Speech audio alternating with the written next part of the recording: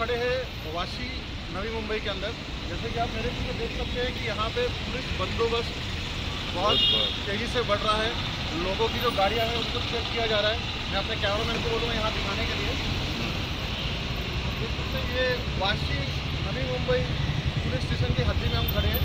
यहाँ पे आप देख सकते हैं कि हर एक आदमी को रुका के चेक किया जा रहा है।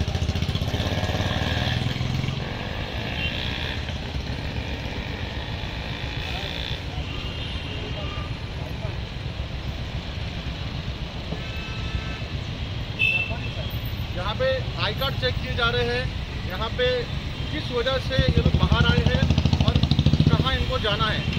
अति आवश्यक सेवा पर ही छूट है।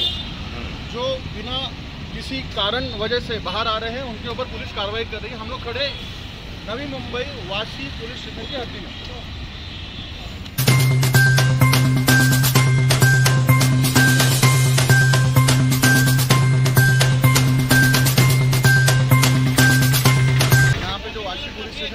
लोग खड़े हैं, यहाँ पे हर गाड़ी को रुका के चेक किया जा रहा है।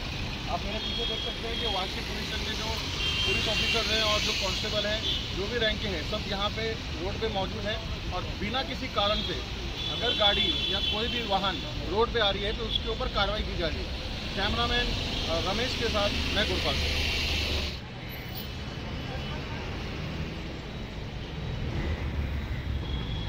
जैसे कि अभी हमने आपको दिखाया था कि वाशी नवी मुंबई वाशी के अंदर जो बंदोबस्त था, इस समय हम खड़े हैं एपीएमसी नई मुंबई एपीएमसी के अधीन आप मेरे पीछे देख सकते हैं, पुलिस का बंदोबस्त है। पुलिस हर नाके पे, हर जगह पे तैनात है।